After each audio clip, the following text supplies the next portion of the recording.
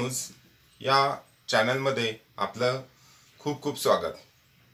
मित्रांनो अपंगत्व किंवा विकलांगता याच्यावरती मात करून आयुष्यामध्ये यशस्वी झालेले खूप सारी उदाहरणं तुम्ही पाहिली असतील ऐकली असतील. काहींनी अनुभवली सुद्धा असतील.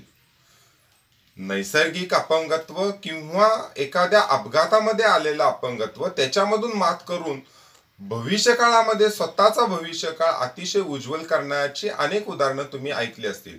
परंतु आज आपण एक असं उदाहरण या व्हिडिओमध्ये पाहणार आहोत ज्याच्यामुळे तुम्ही केवळ आश्चर्यचकितच नाही तर तुम्हाला हेवा वाटेल असं. हो.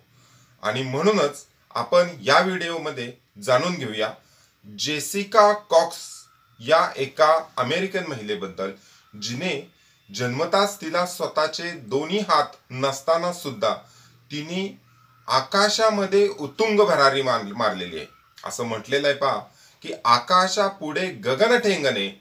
खरंच तिच्यासाठी गगन हे ठेंगणे झालेले आहे. पाहूया तिचा सविस्तर वृत्तांत या व्हिडिओमध्ये.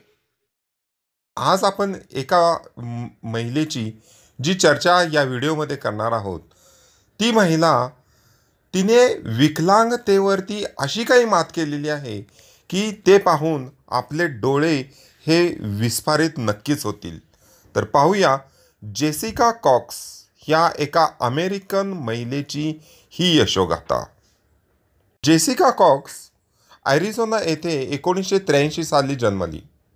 ही जगातील पहिली परवानाधारी विकलांग पायलट तसेच अमेरिकेच्या तायकांदो असोसिएशनमधील प्रथम विकलांग ब्लॅक बेल्ट धारक महिला आहे.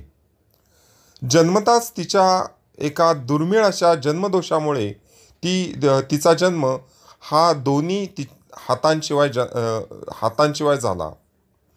जेसिका कॉक्स हिने ॲरिझोना विद्यापीठातून दोन हजार पाचमध्ये सायकॉलॉजीमधून पदविका तसेच मास कम्युनिकेशनमध्ये पदवी प्राप्त केली.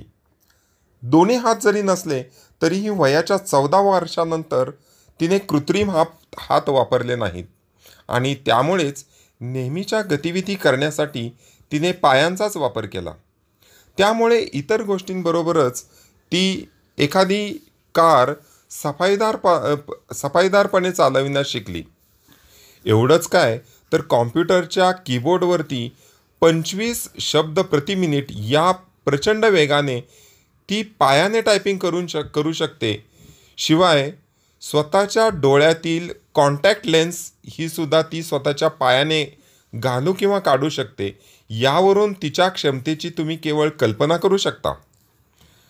याशिवाय ती एक उत्तम स्कुबा डायव्हर आहे. हे मात्र अकल्पनीय वाटते. जेसिका कॉक्स दोन हजार चारमध्ये राईट फ्लाईटच्या माध्यमातून प्रथमच एक एक इंजिन विमानात एक पायलट म्हणून बसली. तीन वर्षाच्या खडतर प्रशिक्षणानंतर दहा ऑक्टोबर दोन हजार आठ रोजी तिने एका प्रशिक्षित पायलटचे प्रमाणपत्र अर्जित केले. आणि त्याबरोबरच लाइट स्पोर्ट विमानास दहा हजार फूट उंचीपर्यंत उडविण्यास ती पात्र ठरली. जेशिका कॉक्सचे स्पोर्ट्स पायलट प्रमाणपत्र ई आर सी ओ चारशे पंधरा सी एक कोर्पसाठी आहे. जे फेडरल एव्हिएशन ॲडमिनिस्ट्रेशनच्या लाइट स्पोर्ट्स विमानाचे नाव आहे. एकोणीसशे चाळी एकोणीसशे चाळीसच्या दशकात डिझाईन केलेले एकॉर्प रडार पेडलशिवाय बांधले गेले. त्याऐवजी रडार योग मार्गे एलेरॉनसह जोडलेले आहे. आणि हे रडारचे अनोखे डिझाईनच जेसिकाला विमानाचे नियंत्रण करण्याची सुविधा देते.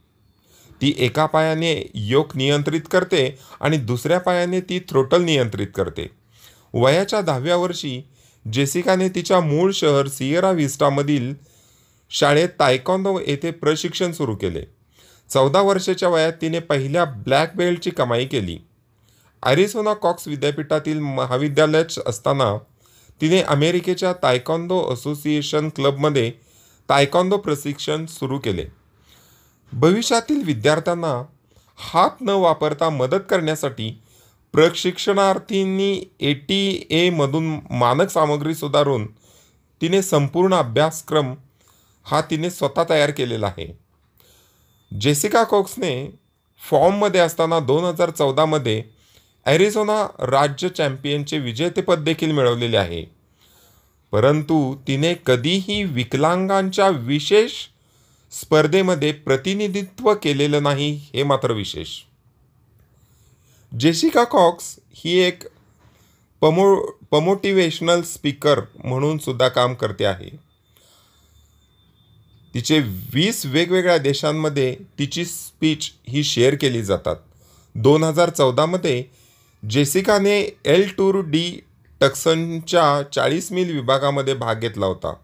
दोन हजार पंधरामध्ये जेसिका कॉक्सने आत्मकथनात्मक स्वयंमदत पुस्तक डिसमर्म युअर्स लिमिट्स ही पुस्तके प्रकाशित केली आहेत. आपल्या आयुष्यात शिकलेल्या धड्यांमधून लोकांना स्वतःच्या आव्हानांवरती मात करण्यासाठी प्रेरणा मिळते आणि म्हणूनच कोणत्याही विकलांग व्यक्तीसाठी ती एक प्रेरणादायी म्हणून सदैव काम करीत राहील यात तिळमात्र शंका नाही. धन्यवाद.